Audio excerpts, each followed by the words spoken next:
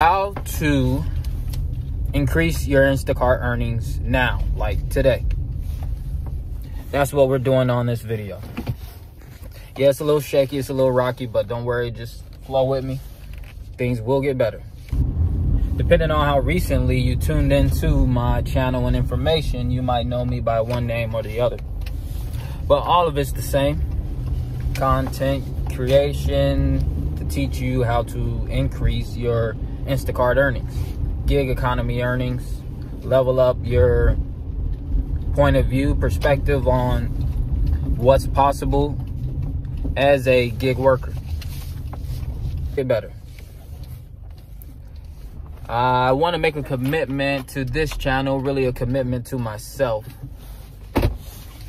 to post videos. I really enjoyed content creation, so thank you to anybody and everybody who watched my videos in the past.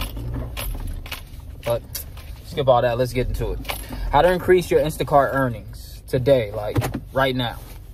Firstly, consistency.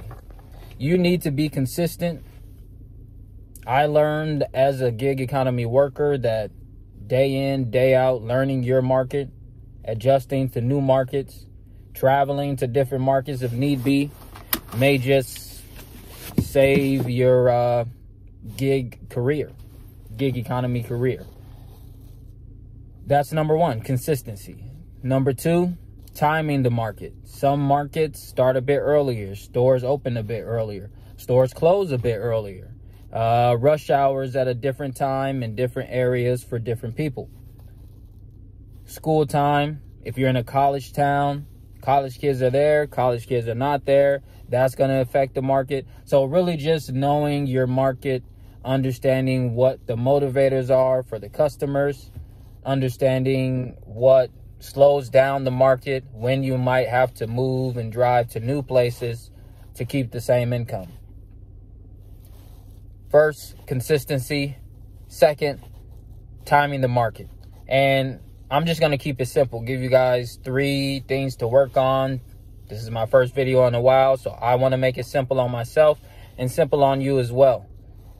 The third thing you need to do to increase your Instacart earnings now, like today, would be adding on a separate gig app. So if you're doing Instacart now, add Uber Eats. If you're doing Instacart, add, I don't know, Uber itself. Add Shipt or add uh, Vevo. There's a bunch of them, a ton of them. Just go to Google, research gig economy. That's like a keyword that you guys can use. Gig economy apps or gig worker apps or side hustle apps or apps that make me money part time all those apps will assist you in keeping your income at a livable base. I still do Instacart from time to time. I work from home now full time and go to school and I have a family and all the above. But I have never given up on the gig economy because the gig economy will never give up on you. So long as you're courteous to customers, so long as you pay attention to what works for you, so long as you are active and consistent, so long as you just play your role until you create a new one, the gig economy will supplement your income. It will help you put food on the table. So, how do you increase your Instacart earnings now, like today?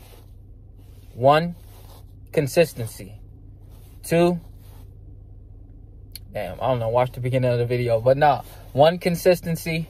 Two, uh, timing the market.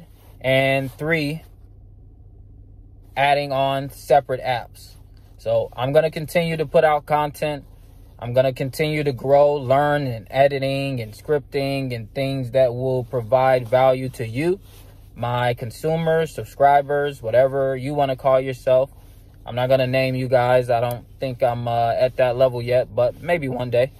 But yeah, thank you for tuning in thank you for watching me. Thank you for, if you were with me from the beginning, thank you for rocking with me back then. Thank you for tuning in today. We'll see how far this content creation thing takes us.